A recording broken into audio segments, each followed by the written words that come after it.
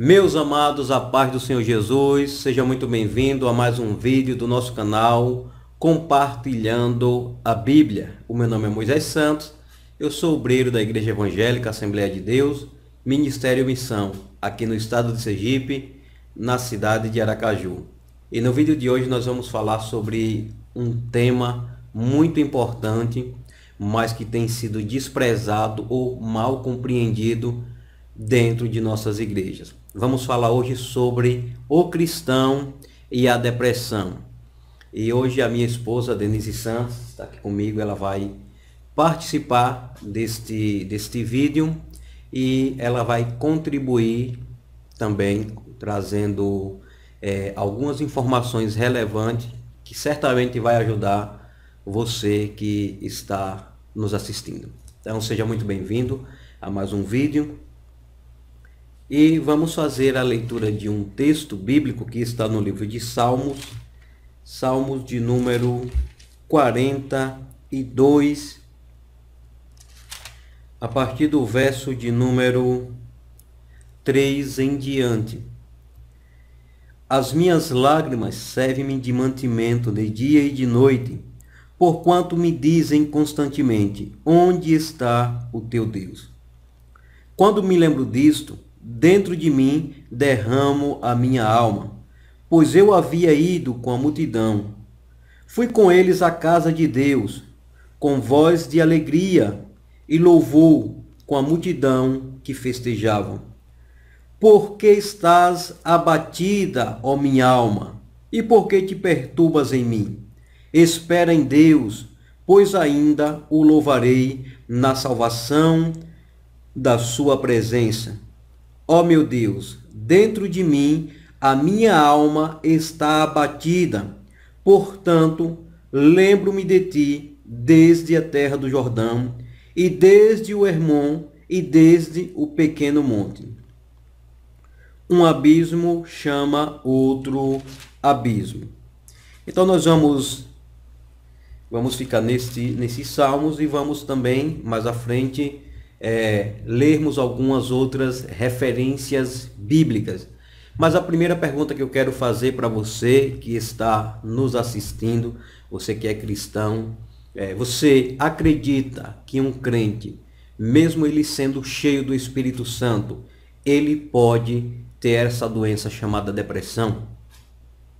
Muitos pastores têm pregado em suas igrejas que é impossível um crente cheio do Espírito Santo ter depressão. E um homem cheio do Espírito Santo não pode ter depressão. E aí nós estamos trazendo esse vídeo para esclarecermos, porque essa semana mesmo em, nossas, em nossa igreja, um pastor, ele é bem usado por Deus, é uma benção nas, nas mãos do Senhor, mas ele teve a discrepância de, em sua ministração, ele afirmar que um crente cheio do Espírito Santo não pode ter depressão.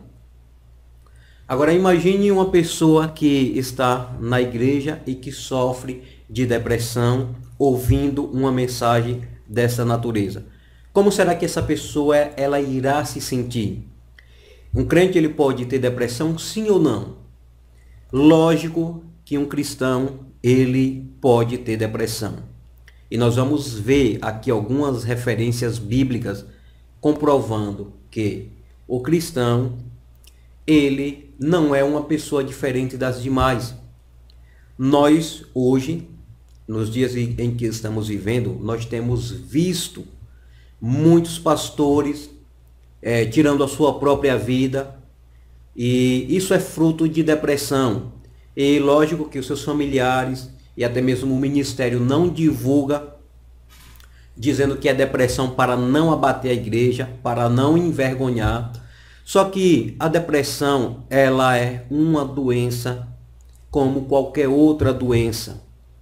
E a partir do momento que você passa a enxergar a depressão como uma doença e que o cristão ele também sofre de depressão porque ele tem as mesmas necessidades que as demais pessoas. Porque hoje nós vemos muitos cristãos, pastores, pastoras, é, eles sendo acometidos por aquela doença bem famosa e bem conhecida, que é o câncer. Será que o cristão ele também não pode ser acometido por um câncer, por uma diabetes? Se o cristão ele é acometido por câncer, por diabetes, por pressão alta, por qualquer outro tipo de doença, por que não pode ser acometido pela depressão? Então, essa, essa é uma realidade que nós estamos vivendo e que, por falta de entendimento, ou até mesmo por ignorância, muitas pessoas têm tratado a depressão como possessão demoníaca, demoníaca, como pecado, ou mesmo como se a pessoa ela não tivesse fé em Deus. E manda ler a Bíblia, vai ter fé em Deus, vai, vai ter fé em Deus, você precisa ler a Bíblia, você precisa orar mais. E não é assim que funciona, não é assim que essas pessoas devem ser tratadas. Vamos aqui para algumas referências que eu separei para nós comprovarmos que o cristão ele pode também ser acometido por essa doença chamada depressão e que precisa ser tratado, precisa ser compreendido. Nós vamos começar falando do patriarca Jó. Jó, depois que ele foi acometido por aquela série de, de catástrofe que aconteceu em sua vida, no meio da sua família, olha só o que ele, o que ele diz. Jó capítulo 3, versículo 11. Por que não morri eu desde a madre? E em, e em saindo do ventre, não expirei. Jó 3, versículo 11. Jó capítulo 3, versículo 26. Nunca estive tranquilo, nem sosseguei, nem repousei, mas veio sobre mim a perturbação. Jó, capítulo 10, versículo 1. A minha alma tem tédio da minha vida, darei livre curso à minha queixa, falarei na amargura da minha alma. O que nós estamos vendo aqui são sintomas de uma pessoa que está depressiva. Quando nós vamos para os sintomas da, da depressão, a depressão ela tem algum, alguns estágios e alguns sintomas. Sintomas relacionados ao humor. Olha só alguns desses sintomas: tristeza, emotividade, angústia, irritabilidade, ansiedade e desmotivação. Então, se você tem esses sintomas, você tem que analisar, porque você pode estar com uma depressão ou com um início de depressão e ainda não saber. Vamos lá. Sintomas cognitivos: baixo rendimento intelectual, falta de fé em si, em Deus, na vida, nas pessoas e nos tratamentos. Sentimento de abandono e ou rejeição, assuntos constantes sobre morte, sentimento de inferioridade, falta de sentido na vida, baixa autoestima, autoimagem negativa, pessimismo, desvalorização da vida, sentimento de culpa, ideias de suicídio. Então, a pessoa que está o tempo todo postando é, coisas relacionadas a suicídio, a tirar sua vida, é, com complexo de inferioridade, pessoas que não têm mais amor pela vida, que elas acreditam que se ela morrer não vai fazer falta para ninguém, porque a vida dela não tem mais sentido. Então essas pessoas, elas estão passando por um processo tão complicado e difícil, e a maioria das pessoas que estão ao redor dela não consegue compreender. Essas pessoas, elas elas se sentem sozinhas, mesmo estando cercadas, rodeadas de, de amigos, de familiares. Elas procuram se isolar, elas não têm mais desejo de participar de atividades em grupo. O desejo dessas pessoas é se isolar, é ficar o tempo todo sozinho. Muitas sentem vontade de ficar o tempo todo na cama, dormindo.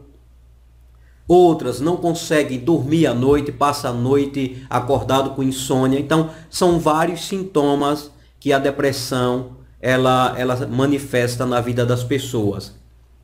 É, depressão, corpo, mente e alma. Olha só, sintomas somáticos.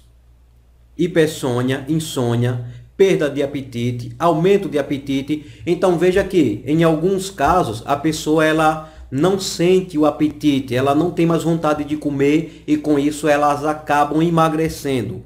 Também pode acontecer o contrário, as pessoas passarem a sentir um apetite exagerado, comer o tempo todo e com isso elas começam agora a ficarem obesas. É também um sintoma da depressão. Redução do interesse, do interesse sexual e baixa no sistema imunológico. Expressão corporal. Cabeça baixa, a pessoa vive de cabeça baixa, é, coluna curvada, dificuldade em olhar as pessoas nos olhos, olhar desvitalizado, despreocupação com a higiene pessoal, despreocupação com a aparência, respiração superficial, movimento lento e contidos, vida social, isolamento, desinteresse pelos estudos, desinteresse pelo trabalho. Então, olha só, são tantos os sintomas de depressão e se você está sentindo alguns ou vários desses sintomas que eu acabei de falar aqui, você pode estar com depressão ou com início de depressão. Então a depressão, ela é uma doença e ela precisa ser tratada. Quanto mais cedo a pessoa ela enxergar que ela está depressiva, que ela está doente, que ela precisa de tratamento, ela tem que buscar auxílio de profissionais, pessoas capacitadas para tratar. É, porque a minha esposa ela, ela veio fazer este vídeo comigo hoje? Porque no começo do, do nosso casamento, no começo do nosso casamento, ela não teve depressão, mas ela teve síndrome do pânico. E eu era muito novo, eu nunca tinha ouvido falar nesta doença e eu não soube, não soube lidar com essa situação que ela enfrentou. E por isso que eu trouxe ela aqui para ela explicar um pouco como ela se sentia e como ela conseguiu superar esta doença que ela sofreu e foi é, por quase um ano esse processo ela tinha medo de sair, ela tinha medo de ficar em casa, mesmo com pessoas aqui, ela, ela passava a sentir medo. Ela só saía com pessoas de confiança, comigo, ou com a mãe, ou com uma amiga bem de confiança mesmo. Muitas vezes nós íamos para a igreja e quando chegava lá na porta da igreja, o coração dela acelerava de uma forma inexplicável e ela queria voltar para casa, ela não se sentia bem. Então, do nada, ela começava a sentir é, esses sintomas. E eu, na minha inexperiência e por ignorância, falta de, de entendimento, na época eu também cheguei até a fazer pré-julgamentos, como muitos pastores e líderes hoje fazem esses pré-julgamentos das pessoas que estão com depressão, julgando, dizendo que é possessão demoníaca, que é pecado, que a pessoa não tem fé em Deus, que a pessoa não está orando, que precisa buscar mais a Deus. E não era nada disso. É uma doença como qualquer outra doença. Assim como uma pessoa é acometida de câncer, de um diabetes, ela também é acometida de uma síndrome do pânico, ela é acometida de, de uma depressão. E isso existe, isso existe, é real. O cristão ele não é melhor do que as outras pessoas, ele também passa por esses esses sintomas, ele sente isso, mas a diferença é que nós temos o que? Nós temos um, um Deus que ele é fiel, que está disposto a nos ajudar em todo o tempo.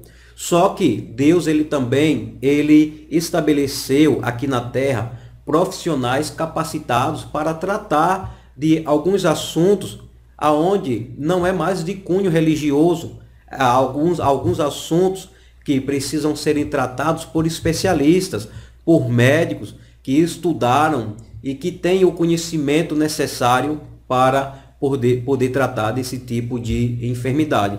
Então eu vou passar a oportunidade para minha esposa para ela falar um pouco sobre a síndrome do pânico. É, e como foi que isso começou, como ela se sentia e também como ela conseguiu se libertar disso. Então, ela está com a oportunidade para compartilhar com, com vocês. A paz do Senhor, meus irmãos. Eu gostaria de dizer que esse momento que eu passei foi um momento muito difícil na minha vida.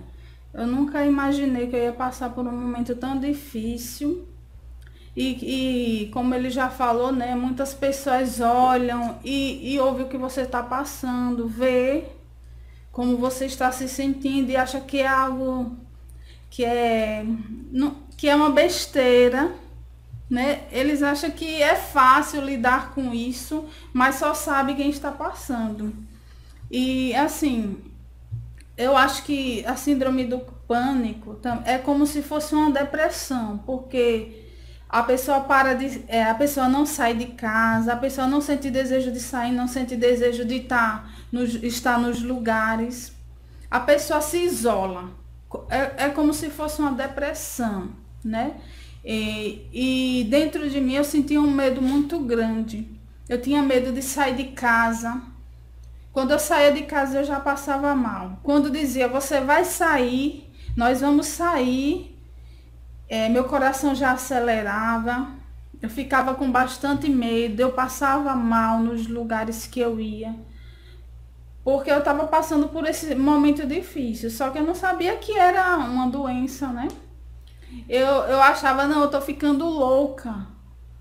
Sem, é, vinha esses pensamentos na minha mente, não, você tá ficando louca. Como muitas pessoas assim, que não entendem, não sabem o que é passar por isso, é o que elas falam, que a pessoa tá ficando louca, que isso é besteira tal. Mas é, eu acredito assim que eu cheguei a este estado porque quando eu era criança, eu tinha muito medo e isso eu fui crescendo com esse medo. Eu deveria ser tratada desde criança. Só que naquele tempo é, não existia tanto. É, a medicina não era tão avançada, não tinha psicólogos para conversar, para tratar desses problemas. Porque... Na, e na verdade a falta de recursos também e, e tratamentos era, era muito caro, não era tão acessível quanto é hoje, né? Então, para vocês terem uma ideia, é, quando morria alguém aqui próximo, eu ficava com muito medo, eu sentia muito medo, eu não dormia à noite. Teve um vizinho aqui que, que morreu aqui de frente à casa, que mora aqui em frente à minha casa. O vizinho ele morreu. E eu fui lá e olhei para ele morto na cama, eu vi. E nessa noite eu não consegui dormir. Isso foi à noite, eu não consegui dormir. Eu fiquei com bastante medo que eu fiquei encolhida na cama e ficava me tremendo de medo. Só que eu não sabia, eu era criança, eu era adolescente, e eu não sabia que isso não era normal. E minha mãe também não sabia, como a gente já falou, que antes não tinha tantos recursos que nem hoje. Então eu fui crescendo com esse medo exagerado. E daí foi desencadeando mais outras coisas e acabei tendo a síndrome do pânico. Por quê? Porque eu não tratei no início. Então isso é muito importante, né? Que quando vierem os, os, primeiros sintomas, a gente tem que já se tratar, já reconhecer que não, não está normal. Aqui aquilo não é normal. Como você conseguiu é, superar? Você conseguiu superar sozinha ou alguém lhe ajudou, pessoas lhe motivaram? Para que você pudesse é, é, sair dessa síndrome do pânico? É, sozinha não é, é, sozinha nós não conseguimos nada, né? Porque quando estamos com, com, com essa doença, é, nós queremos nos isolar. E, e quando a gente se isola, a gente não quer ficar próximo, de, a gente quer ficar sozinho. Então, sozinho, sozinho a gente vai ter mais, a gente vai ficar mais depressivo, então é necessário que a gente procure ajuda, principalmente dos amigos e familiares, os que estão mais próximos da gente, porque quem passa por esse processo, ele tem que estar próximo do, da família, de alguém que está próximo. Porque se você não quer estar próximo de, de quem está próximo de você, você vai querer pessoas distantes para te ajudar. Então, o mais fácil é você pedir ajuda aos seu fami seus familiares e os seus amigos. E nesse momento que eu passei essa síndrome, é, quem me ajudou foi a minha família e as minhas amigas, porque como, como eu passei por esse processo difícil, eu não saía de casa. E Muitas vezes minha amiga chegava aqui e dizia, você vai sair, mas eu dizia, eu não vou sair, eu tenho medo. Então ela fazia eu sair a pulso. E eu saía, mas eu saía com medo, eu saía com o coração acelerado. E isso foi muito difícil para mim. Para vocês é, terem uma ideia, para sair era muito difícil. Imagine, foi aos pouquinhos. Eu comecei a sair mais próximo, depois um pouquinho mais distante. Então eu fui fui me adaptando, perdendo mais o medo. Perdendo o medo, eu comecei a me soltar mais. E aí foi que eu consegui, né, me curar deste mal. Às vezes eu, é, eu acordava cedo de manhã aos domingos e tinha que comprar algo para fazer para comer, comprar carne. E aqui, é, aqui próximo de casa eu ficava com medo. Aí eu ficava, vou ou não vou? Vou ou não vou? Vou ou não vou? Eu ficava com tanto medo que eu ficava, eu tentava, né? Mas eu abria o portão, depois voltava, fechava. Mas foi aos pouquinhos que eu consegui me recuperar, com a ajuda dos meus amigos e familiares. Até é, quem passa por essa, esse momento difícil, até tem familiares que também não ajudam, né? Verdade. Porque eu, eu mesma tive familiares que disseram, você está ficando louca. E isso foi piorando a minha situação, porque eu coloquei na minha mente que realmente eu estava ficando louca e não conseguia dormir. E aquilo foi piorando. Então, eu quero pedir para vocês que se tiver um parente na sua família que esteja passando por um processo difícil, igual que eu passei, não, não critique, não somente diga, não ajude. Diga, não diga que é besteira. Não fale palavras de ah, desânimo. Se, se, fosse comigo, porque muita, muitas vezes, muitas vezes eu dizia assim, ah, se isso fosse comigo, é, eu não ia me sentir dessa forma, tipo, porque eu me achava forte, né? Eu achava que se eu passasse por o processo que ela estava passando, isso aí era besteira, porque eu, às vezes eu chegava para ela e dizia, você está com medo de quê? Não tem motivo para ter medo. Quem está de fora não consegue entender, não consegue compreender. Então, muitas vezes as pessoas que estão de fora acabam atrapalhando, prejudicando ainda mais. Porque quando você fala uma palavra negativa, como teve um parente dela que disse você está ficando louca, aquilo, aquilo ali ficou na mente martelando, martelando e fez com que ela se sentisse mal e ela passasse a pensar que realmente ela estava se sentindo louca. É, outra pergunta que eu quero lhe fazer. É, em todo esse momento, você deixou de, de ser fiel a Deus, você deixou de acreditar ah, em Deus, ou mesmo você sendo fiel a Deus, mesmo você orando, mesmo você acreditando, você passou por esse processo? Eu jamais deixei de acreditar em Deus. Só que quando a pessoa está passando por esse momento, né, fica com a fé lá embaixo. Mesmo você sabendo quem é Deus, você sabendo a quem você serve, que Deus é poderoso e pode fazer todas as coisas, é difícil. A fé, ela fica lá embaixo. Mas nós não devemos desistir, né? Então, houve uma, houve uma força de vontade da sua parte para poder é, é, é, superar esse, essa, essa, essa doença, essa dificuldade? Com certeza. Eu acredito assim que se eu tivesse desistido, eu nem estaria aqui hoje. Quem sabe, eu não sei onde eu estaria. Mas houve uma força de vontade sim. Eu queria, é porque é difícil. Quem passa é difícil. É, quem passa por esse momento, ela sente que tá tudo perdido, que não vai conseguir voltar a ser o que era antes mas se você ficar só com esse pensamento na mente, você não vai conseguir. Então, eu buscava a Deus e pedia que Deus ele me curasse desse mal. E eu tive força de vontade, por isso eu estou aqui hoje contando esse testemunho, porque eu não desisti de viver, porque geralmente as pessoas, é, várias vezes eu, eu pedi a Deus para me levar, porque eu não queria mais estar naquela situação terrível. Mas eu continuei com a ajuda de algumas pessoas, eu consegui, primeiramente de Deus, né? Que é Deus quem nos ajuda e nos sustenta, porque se não fosse Deus na nossa vida, o que seria de nós, né? Verdade. Então eu digo sempre que se não fosse Deus, eu não estaria aqui. Então eu sou grata a Deus por tudo e pelas pessoas que me ajudaram, né? E eu posso dizer que eu com certeza tive força de vontade e por isso que eu superei, né? Primeiro Deus, a família, os amigos me ajudaram a superar. E hoje eu estou aqui agradecendo. Então, no caso, se ela tivesse se isolado, se ela não tivesse procurado os amigos ou se recusado a, a receber a ajuda dos amigos que chamavam para sair, para passear, para distrair a mente, muito provável que aquela síndrome do pânico que ela é, estava passando pudesse até se agravado mais ainda. Da mesma forma é a depressão. A pessoa perde o sentido, o desejo pela vida. Depressão é uma tristeza profunda na alma que muitas pessoas desistem de viver e pedem a morte. Muitas pessoas, elas elas se sentem tão desesperadas que elas acreditam que a solução para a depressão é a morte. Elas muitas acabam até tirando a sua própria vida.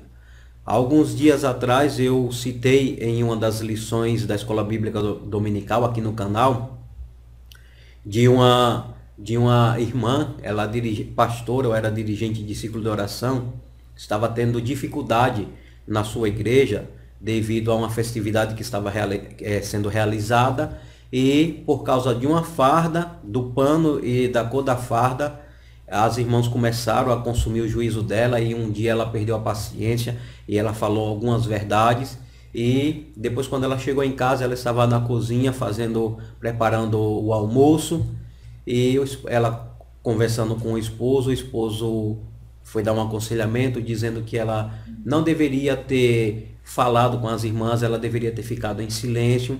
Só que essa irmã, ela já estava em um processo de depressão, só que nem o seu esposo sabia.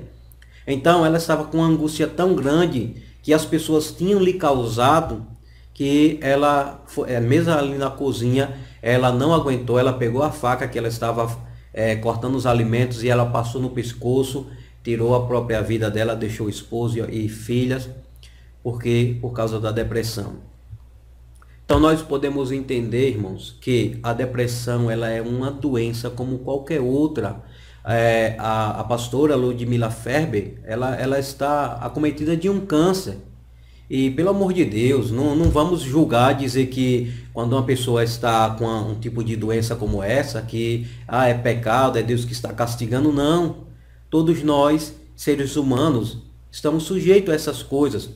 Da forma como Deus manda o sol para todos, chuva para todos, muitas pessoas, tanto crente como ímpios, são acometidas. Todo, todo mundo, todo ser humano tem a célula cancerígena no seu corpo. Só que em algumas pessoas elas desenvolvem, em outras não. Então não existe isso de ah, o, o cristão ele não pode ter depressão, o cristão ele não pode ter câncer.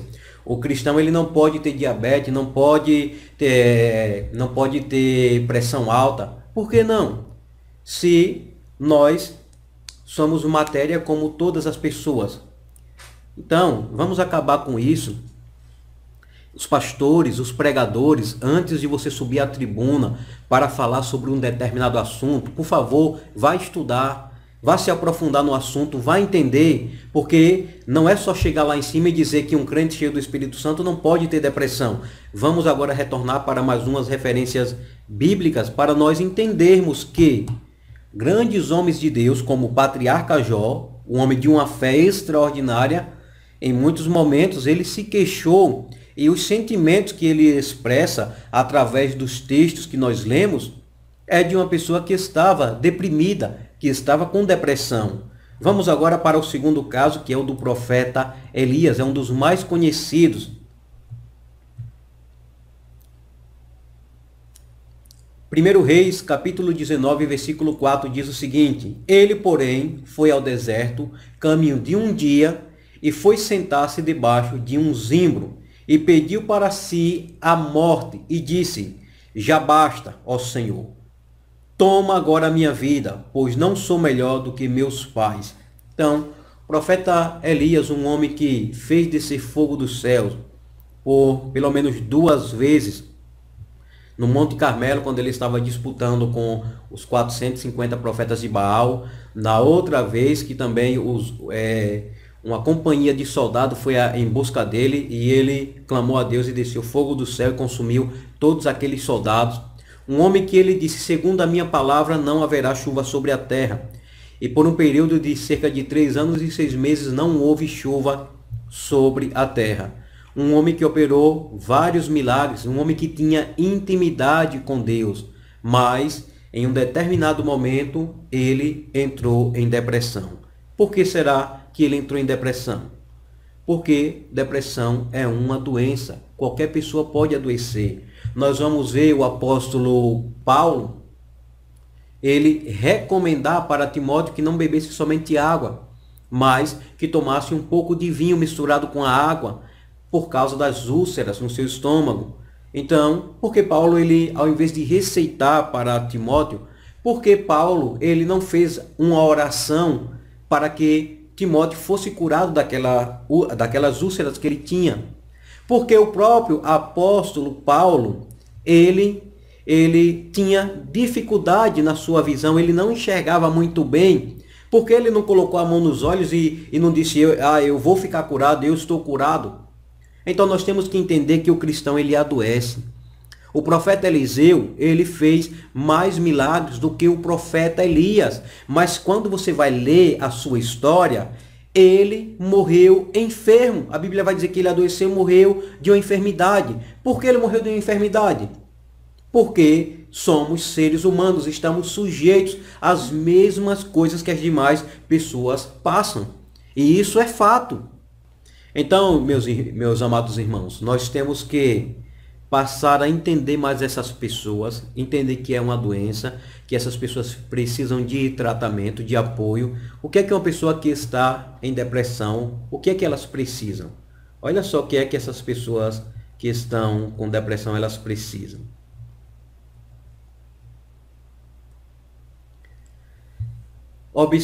Observa-se que o vínculo de confiança entre o enfermo e quem tenta ajudá-lo é de fundamental importância para vencer a resistência, fazendo com que aquele que se sinta acolhido, amado, respeitado e compreendido. Lógico que muitas vezes vai existir uma resistência por parte da pessoa e você tem que saber lidar com isso porque você tem que continuar insistindo, mas de uma forma não demonstrando que você está com pena, porque isso faz com que a pessoa se sinta mais para baixo, mas você tem que demonstrar que você compreende. Você tem que mostrar que você entende ela. E e tem que ter paciência também, né? Porque muita paciência. tem que ter paciência, porque às vezes a pessoa ela se irrita fácil, né? E não é porque a pessoa quer se irritar, é porque faz parte do, do, do processo que ela está enfrentando. É, é, são sintomas da doença e que se manifestam da forma como a pessoa que está que ela está com uma dor de cabeça aí ela vai sentir alguns sintomas, vai precisar tomar algum remédio. Então, a pessoa que está com a depressão, ela vai esboçar os sintomas da doença, que às vezes é mau humor, é falta de paciência, é, ela não vai querer te ouvir, ela não vai querer, é, mesmo que você convide ela para participar de, de, de algo, alguma atividade, ela não vai querer ir. Não vai querer ajuda. Não né? vai querer ajuda. Ela não, não se ajuda e muitas vezes não vai querer ajuda de quem está ao redor. Vai falar mais alguma coisa? Não, pode, pode continuar. Então, meus amados, que em nossas igrejas venha acabar essa, essa falta de sabedoria por parte de alguns pregadores e de até pastores que, como eu, tô, como eu, como eu falei no começo desse vídeo, o pastor pregou aqui é, terça-feira em nossa igreja E ele disse que é impossível um crente cheio do Espírito Santo ter depressão, ficar triste, que duas horas de oração é o suficiente para acabar com qualquer tristeza. E não é assim que funciona. Existe sim diferença entre, entre tristeza e depressão. A, a tristeza, você, por exemplo, alguém da sua família falece, você vai ficar triste por alguma, alguns dias, algumas semanas, mas depois você retoma a sua vida e segue em frente. Já a depressão não é diferente. A depressão pode levar meses e até anos, e se não for tratado, pode levar o paciente até a tirar sua própria vida. Então, é, se você é, é pastor, é líder, é membro, é congregado, saiba que se você é um pastor e se você está sentindo alguns dos sintomas que foi apresentado aqui nesse vídeo, não é vergonhoso você procurar se tratar não. O meu pastor, ele teve depressão, ele teve síndrome do pânico, se não me falha a memória, e síndrome do pensamento acelerado, e ele diz que muitas vezes ele no, no seu carro, ele desejava jogar o carro na frente de um ônibus e tirar a sua própria vida. E ele procurou o pastor dele para contar isso, e sabe o que foi que o pastor dele disse? Ou você está em pecado, ou você está com um demônio. Pelo amor de Deus.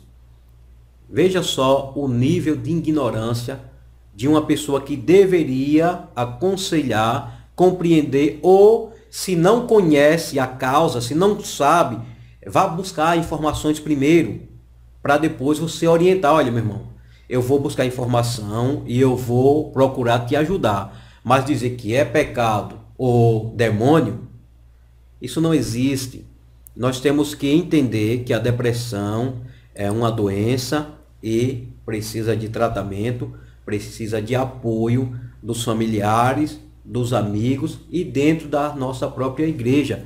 E não devemos fazer julgamento, não devemos mangar, não devemos criticar, devemos orar e apoiar, estender as mãos para ajudar os nossos irmãos. Espero que você tenha gostado desse vídeo deixa o seu like, deixa o seu comentário. E compartilha esse vídeo, compartilha esse vídeo nos grupos de WhatsApp que você participa, da sua igreja, é, de amigos, irmãos, nas suas redes sociais, porque esse vídeo ele precisa é, alcançar o máximo de cristão possível porque as pessoas precisam entender que a depressão não é possessão demoníaca, não é motivo de pecado, falta de intimidade com Deus. Qualquer pessoa está sujeita a essa doença. Então, que fique isso muito bem claro neste vídeo. É, eu gostaria de aproveitar, antes que encerre esse vídeo, e agradecer as pessoas que mais me ajudaram nesse momento difícil. É, primeiramente, aos meus pais, a minha mãe e o meu pai, né? Foi essencial na minha vida e são até hoje. Meu esposo, que muitas vezes não acreditou em mim, porque, Reconheço. porque ele, ele não sabia como lidar com essa situação, ele não sabia o que era esta doença e hoje ele já sabe. E também as, as minhas amigas, que muitas vezes me ajudaram a sair de casa. A minha amiga Claudilene, e a minha amiga Alexandra. Eu quero deixar um beijo para vocês e dizer que eu sou muito grata a Deus pela vida de vocês, por vocês fazerem parte da minha vida. Um beijão e um abraço. Então, um forte abraço, um beijo no coração e até o próximo vídeo em nome de Jesus. Tchau, tchau.